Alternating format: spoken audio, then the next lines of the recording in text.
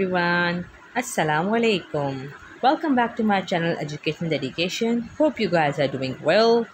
Today is our topic interjection and exclamation. Interjection और exclamation में क्या फ़र्क है और वो किस तरह इस्तेमाल किया जाते हैं ये आज हम इस वीडियो में सीखेंगे तो चलें let's start An exclamatory sentence known as exclamation sentence or exclamative clause is a statement that expresses strong emotion typically in an English grammar. An exclamatory sentence ends with an exclamation mark, also called an exclam exclamation point.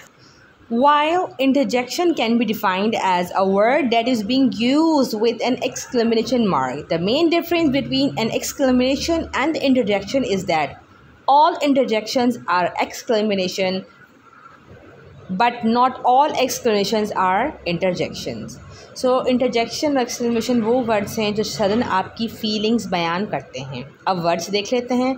Joy surprise grieve approval dislike angry cute joy में hurray yes यपी ये yo surprise में भी है हमारे पास।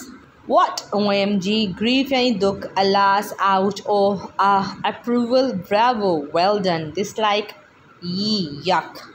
E, angry में erg, blah blah whatever cute में ओ adorable so sweet so cute इस किस्म के वर्ड इस्तेमाल किए जाते हैं।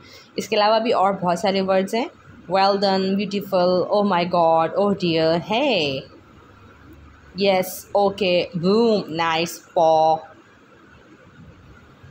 Like omg no yes. Of course why not? boom. Gifto. Yeah, whatever. Whatsoever. और बहुत सारे सारे वर्ड्स हैं हमारे पास इंटरजेक्शन के। Now let's see its examples इसको हम किस तरह इस्तेमाल करते हैं? Hurray we won the match ouch that really hurt badly wow that is a beautiful dress indeed oh my God that was unexpected whoa that guy is unbelievably huge so so, इसको हम ऐसे अपने sentences में इस्तेमाल करते हैं अपनी feelings बयान करने के लिए। आगे देखते हैं। Wow the dress she bought for graduation looks beautiful oh no I forgot that I have an exam today yuck the food he made taste disgusting yay I finally got the school I wanted yes the broken glass hurts my hand a lot so the way you speak in English और उर्दू में, जैसे भी हम बात करते हैं, ये हमें बयान करती है, बताती है हमारे इमोशंस हमारी फीलिंग फेस एक्सप्रेशंस के साथ साथ पेपर पे हम किसी को किस तरह बता सकते हैं कि हम खुश हैं, उदास हैं, नाराज़ हैं तो उसके लिए ये एक्सक्लेमेशन वर्ड्स या इंटरजेक्शन वर्ड्स होते हैं। So today we have learn interjection या exclamation both are the same words जिनका मतलब बस ये है कि आपकी फीलिंग आपका मूड बयान करना। सो so, उम्मीद करती हूँ आज की वीडियो आपको पसंद आई होगी और समझ भी आई होगी और आपको बहुत अच्छी लगी होगी।